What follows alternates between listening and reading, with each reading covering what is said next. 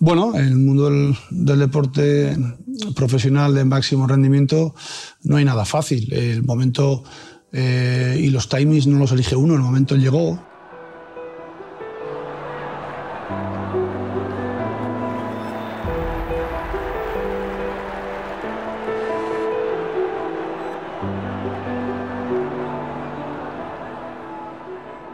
Mi último eh, curso fue prácticamente al mes de dejar el fútbol.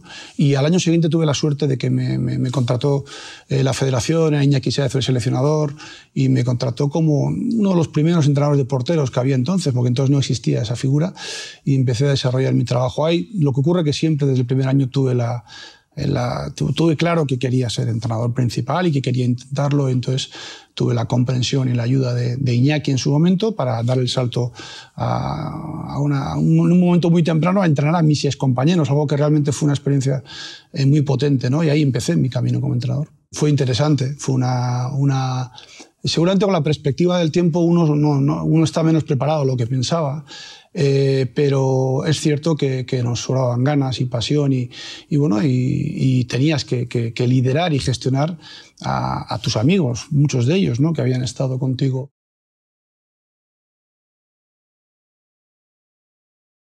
Para mí es una piedra fundamental, absolutamente, en el edificio el resto del edificio futbolístico que cada uno quiere desarrollar. ¿no? Yo creo que la gestión emocional de, de, cada, de cada jugador y la, y la grupal es, es, básico para que tú puedas convencer. Yo creo que el respeto no, no se impone hoy en día. El, respeto uno tiene que ganárselo en base al convencimiento y al compromiso que tú adquieras de tu grupo y de, tu, y de la gente que tú lideras. ¿no? Yo creo que eso se hace en base al diálogo y, por supuesto, a estar preparado y convencerles de lo que eh, quieres y, para lo que estamos trabajando.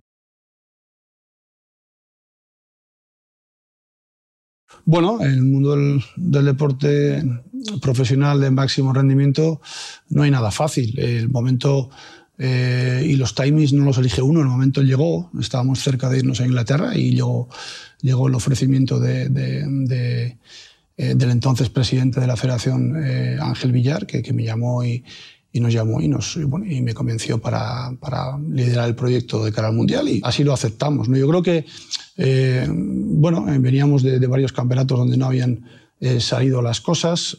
Yo entendía que, que el equipo tenía recorrido todavía como luego así se, demostró durante dos años magníficos. Eh, creo que era un momento donde se estaba cuestionando públicamente el estilo, no el estilo. Nosotros yo tenía muy claro que, el estilo eh, lo que había que hacer era intentar potenciarlo en base a los jugadores que teníamos, intentar matizar cosas, lógicamente, e intentar eh, evolucionar, que es lo que dijimos el primer día, en diferentes caminos y situaciones para potenciar las cualidades principales de los jugadores que, tenemos y teníamos y tenemos. ¿no?